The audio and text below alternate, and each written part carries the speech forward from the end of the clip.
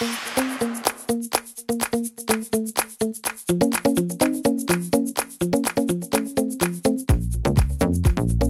inside another edition of Crusaders pregame brought to you by Maxwell Devonshire Realty.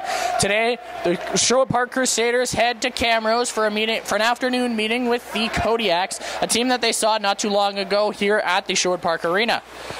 The keys to the game today will be short and simple. You got to play a physical brand of hockey that the North Division is known for. Camrose plays in the South Division, and while they do not shy away from the physical side of the game, they're not as accustomed to it as the Sherwood Park Crusaders are when they're as they play Fort McMurray, Drayton Valley, the teams that are going to wear you down.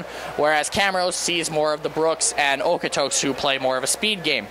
The Crusaders need to get in and make it so that Camrose is a little bit more concerned about where the next body check is coming from rather than where the puck is.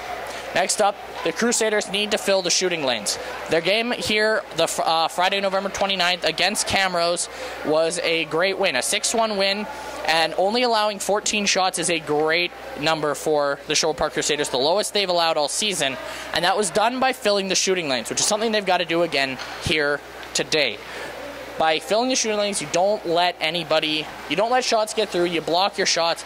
Camrose is going to get frustrated. They're going to start just throwing them at the net, which Jordan Fry and Carter Gallagher are known to be able to make those big, those saves when they need them.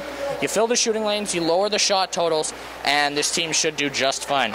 And last but not least, you got to keep Camrose to the outside. Guys like Cody Laskowski and Eric Miller are known for their lethal slot advantages and their play. They can just fire the puck in the slot, they get it, they're monstrous.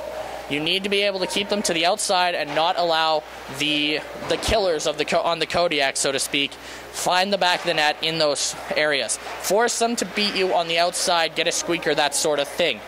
And with that being said, puck drops at 2:30. You should be able to tune in on Hockey TV and catch all the action for your Sherwood Park Crusaders. Thank you for watching, and we'll see you next time.